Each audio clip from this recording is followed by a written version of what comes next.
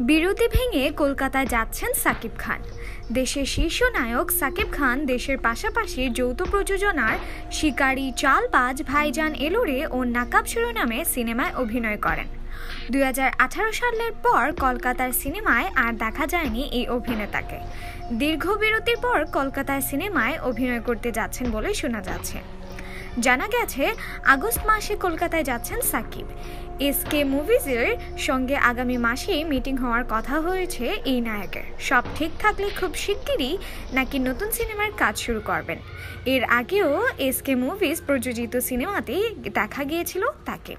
এবার ঈদুল আজহায় মুক্তি পেয়েছে সাকিবের সিনেমা প্রিয়তমা। সাকিব খান বর্তমানে যুক্তরাষ্ট্রে অবস্থান করছেন।